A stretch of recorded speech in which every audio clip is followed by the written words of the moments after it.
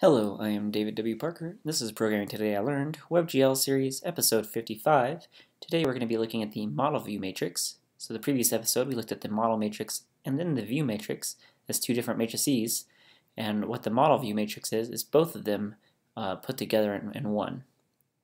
So our current, or our previous uh, vertex shader looks something like this, where we had a view matrix and a model matrix passed in we multiplied them together per the formulas in the previous episode, and we set the GL position based off that.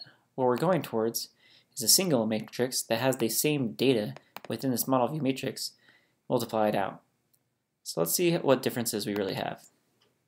Uh, within the entire application, we basically have nothing different from the previous episode other than our draw function. So let's go look what we have. We're going to grab only the model view matrix uniform. It's very standard.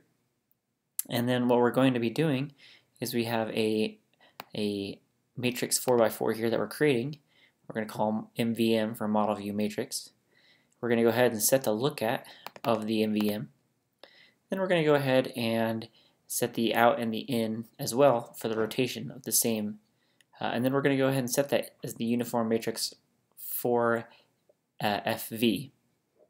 And so if we compare this to the previous episode, we have two different uniforms, two different matrices, one for the view matrix and one for the model matrix.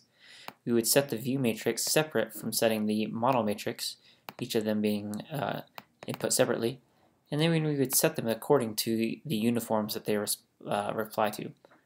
So the only difference here is we're just reusing the same um, matrix, but doing the operations in the same order where we have the view and then the model, so that we get the correct uh, set up multiplication and get the exact same functionality in some same matrices. So that's really all there is to it. Um, this allow you to have a little less overhead with memory and um, make things just be a little tidier. And uh, that's it for this episode. If you like what you saw, go ahead and subscribe, like the video, uh, share it on social media if you will. Go to programmingtil.com and sign up for my newsletter. Have a great one.